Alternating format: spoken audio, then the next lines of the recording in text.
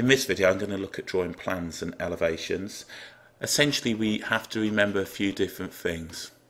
What the difference between a front elevation, side elevation and a plan view is. If I just sketch up now um, my house, what we're going to have is a nice roof and it's going to look something along the lines of this. So my house would look something like so and I'd have that line up there. We would generally call this the front elevation. So front elevation.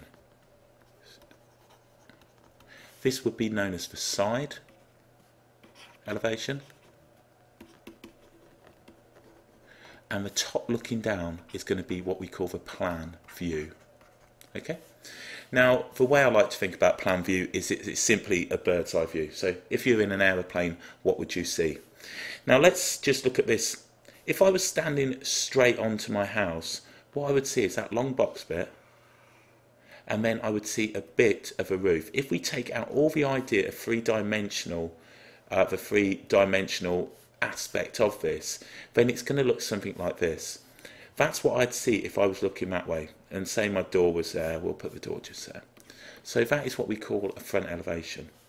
If I looked at it from the side, just here, what I'm going to see is something that looks a bit like this. Okay?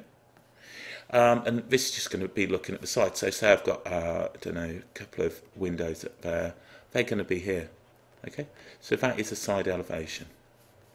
A plan, now imagine if I got in a helicopter, I, I went out in uh, the family helicopter and started flying over the roof. That is what I would see. That's what we call the plan elevation. It's a bird's eye view looking down on the roof. So all we got to do is look down on the roof. And it's going to appear a box.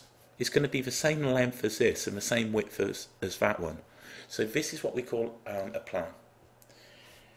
The typical kind of thing that you're going to get in an exam, and they, they don't get much I'd, I'd like to do some of the, the, sort of hard ones, but I've not seen a decent sort of really challenging one that makes me think for ages. And I don't, I don't really pretend I'm any good at this stuff. Right, let's have a try at this one. So what we're going to do is a front, and we're going to call this the front. So right here, this is going to be the front elevation. So we'll call that front, and then we'll call this one here side what I've got to think to myself is what am I going to see if I look at that dead on in front? So if I'm standing there, all I'm going to see is something that's going to be six centimeters by five centimeters. So let's do that one here. So this one is going to be, we need six by five. So it's going to be five high, and then it's going to be six across. That's what I'm going to see. If I look at it dead on, none of the 3D aspect of this is going to hit me. It's just going to look like a six by five. 5 by 6. Now if I look at this side bit, what I'm going to see here now is simply the 5, so there's 5, and then I'm going to see 4. I'm just going to see a triangle if I look at it from the side. I'm not going to see anything else, and we end up with that. So it's going to be 4 there and 5 that way. I'll put some figures on these shortly.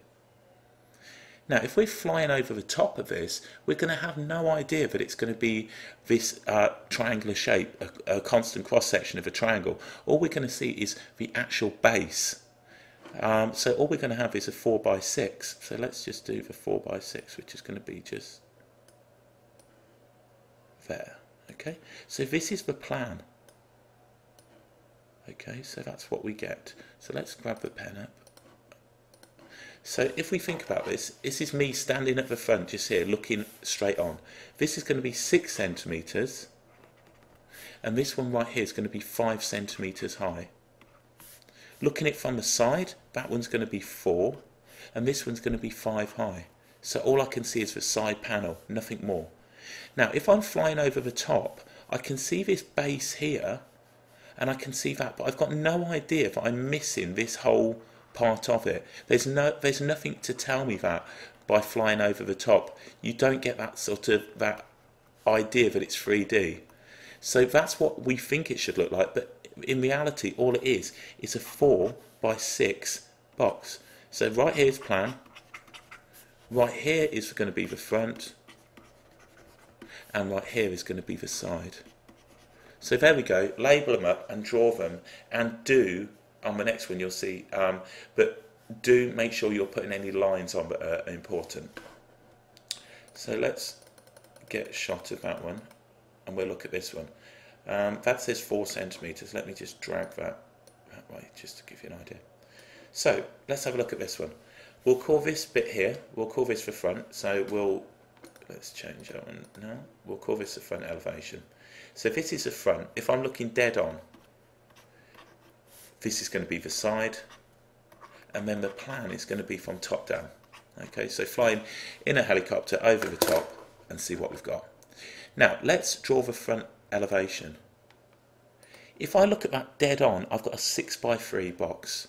So it's going to be now 6. Uh, in fact, we need, let's just move that one, that one, because I don't think you're going to get on the screen with that one. Right, so 3 high, and then it's going to be 6 wide. That's what you're going to see initially. In fact, let's just, that's not quite made it 6. Let's make it completely 6. Right, okay, so it's going to be something like that if you just excuse my bad line on here and then that one there. Now, we then get the line just here. Now that line is that one here.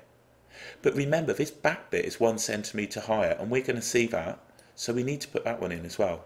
So if we think about that, if we look straight onto this and then straight down, we're going to see this front bit and then the, the bit over the top, we've got no idea about the actual um, 3D slope of that, it just looks like that it's one bit higher. So this right here is the front elevation looking that way. Now, if we draw this, then what we're going to see, this is the side elevation. We can have a 4 by 4, but it's not going to be a 4 here, it's going to be a 3. So we're going to see the 3 bit, and then we're going to see that. That is the side elevation. So if you're looking on that way, then that's what you're going to see. Now this comes again quite nice. If you're flying over the top of that, you've got no idea that we're missing this gap. So this gap that we've got just here, that you can see is slanted down, it will just look like it's already just up here. So from the top, it's just going to look like the same level. So it's all going to look like it's flat. So what we've actually really got, let's now kill that, is this um, kind of thing going on. We've just simply got a 4 by 6 base. So there's 4, there's 6, 4 and 6. That's all you would see if you look down. You'd see a 4 by 6 base and we would call that the plan elevation or the plan view, sorry, plan view. So here's the plan. Here's the front elevation. Uh, sorry, that was side one, wasn't it? Side. And here's the front. So from the front, this one's going to be 3, and this whole thing's going to be 4. So the little bit is going to be 3, the big bit's going to be 4, and then this one is all going to be 6. Flying over the top, it's all going to be 4 down here, and then we're going to be 6. It's just the base, you'll just see the base. And then from the side, four, three, four. So that's how to draw plan, side, and front elevations, just make sure you're putting these lines in and make sure it's roughly to scale. It generally has carries about four or five marks on a GCSE exam paper, so it's worth it's worth doing, and it's something that people just seem to either forget or just haven't learned.